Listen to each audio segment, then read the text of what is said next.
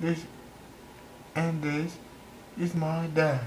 Oh, thank you, Robby. I'm Ron Oberleitner, Robby's dad, and our family mm-hmm. founded Behavior mm-hmm. Imaging to help families gain quality access to care if they suspect or need treatment for autism. Uh, we're building some apps to do mm-hmm. that, and here's an example of one of our successes so far. Imagine combining technology and clinical expertise to analyze childhood behaviors much sooner so that families, even in underserved areas, can get the treatment as early as possible. This collaboration is possible due to our innovative technology called Smart Capture. Caregivers download an app on their smartphone and are guided to record behaviors that may indicate developmental issues.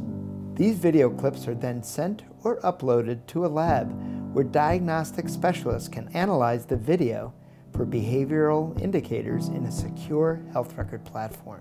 These specialists may also contact caregivers for additional data and can solicit second opinions electronically. After their analysis, the lab provides the family's physician with a clear and concise report. The family may then be guided by their doctor locally quickly and more affordably.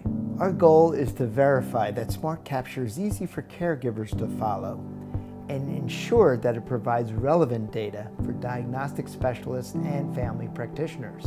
We're also assessing how Smart Capture compares to current methods in terms of accuracy, cost, and the value of using visual evidence as part of a child's health assessment.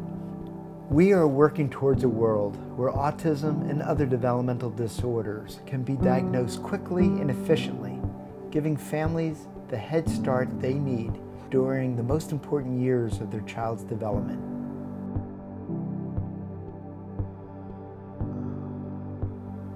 With your help, we can get there together.